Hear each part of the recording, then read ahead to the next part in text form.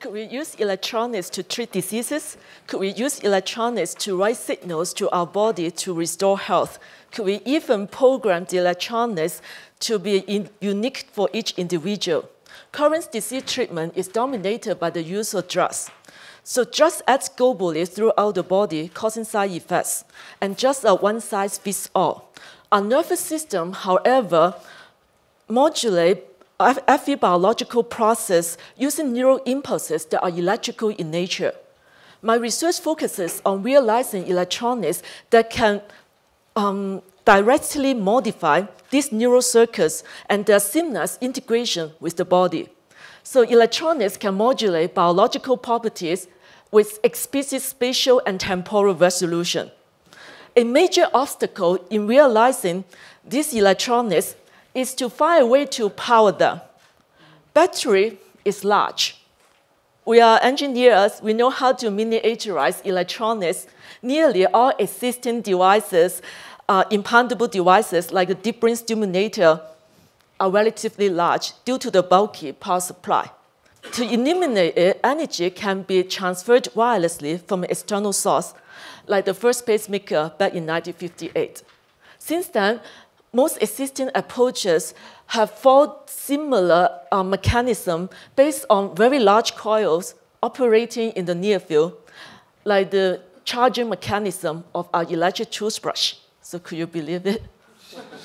uh, I challenged this 50-year-old near-field paradigm and showed that energy can be efficiently delivered to small coils embedded deep in the body by operating in the near field, in, by operating in the midfield regime.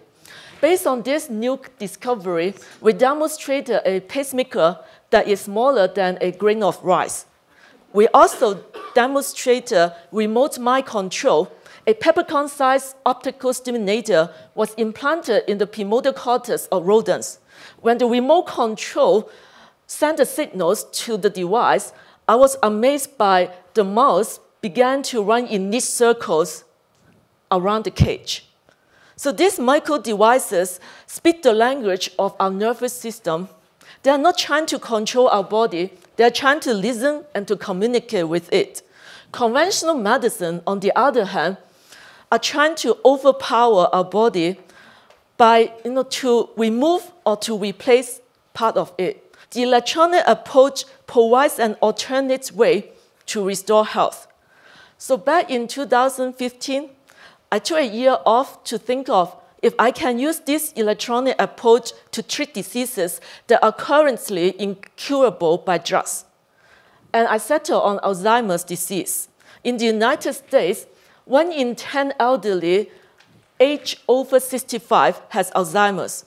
And this number increases to one in three elderly over the age of 85 and there's no drug to treat or even to slow it. I focus on episodic memories because the impairments are often the first symptom experienced by Alzheimer's patients. So today I'm at Delphi sharing my research with all of you is an episodic memory.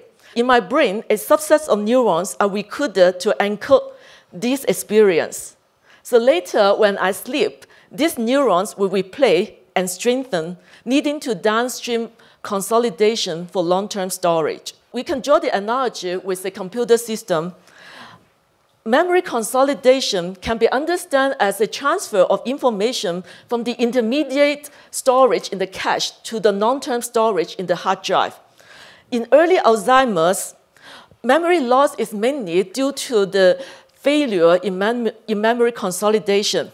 That is, the newly learned memory has been cooked uh, or stored in the cache. But because of plaques built up around neurons, it has trouble transferring to the hard drive.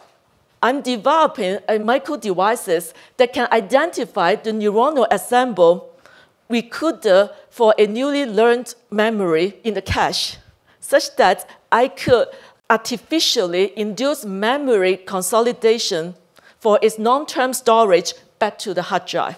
In late Alzheimer's, neurons in the cache degenerate and die. Newly learned experience fail to encode. So if we could insert the micro device early before memories are lost, it can be evolved into a redundant backup system for the cache. So beyond memory recoveries, the electronic approach has many other possibilities for the treatment of other diseases.